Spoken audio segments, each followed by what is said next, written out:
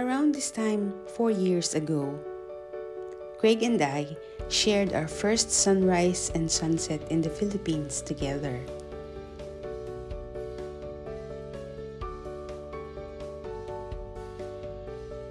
Apat na taon lang pala yun. Parang pakiramdam ko mas matagal na doon.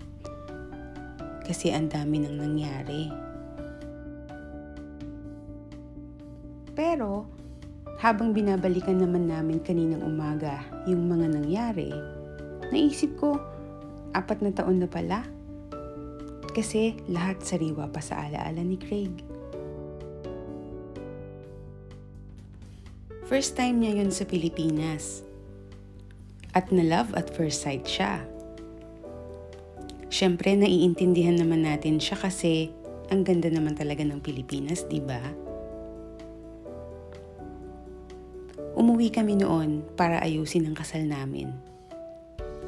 At yun na ang simula ng maraming sunsets at sunrise namin na magkasama.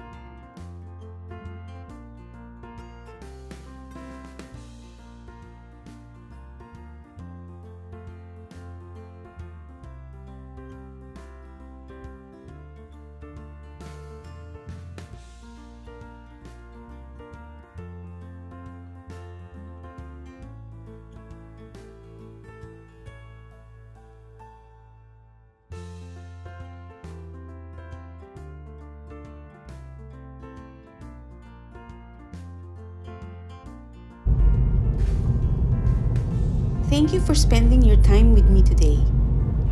God bless everyone. Don't forget to be kind. Do something good for yourself and make someone smile today. I hope to see you all on our next vlog. Until then, bye-bye!